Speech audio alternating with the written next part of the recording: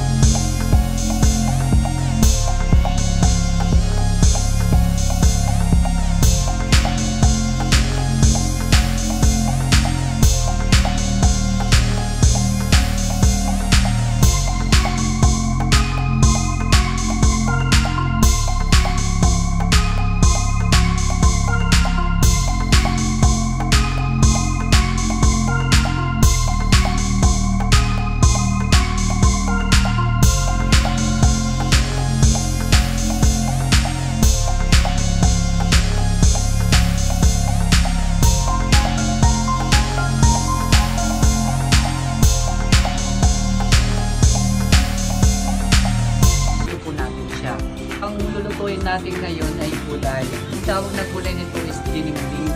Mayroon po tayong daon ng malunggay. Mayroon po tayong patola. Mayroon din po tayong saluyot. Mayroon din po tayong dahon ng kalabasa dahon ng sitaw.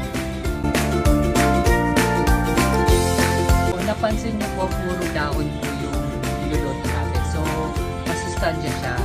Bagay po sa mga anak namin.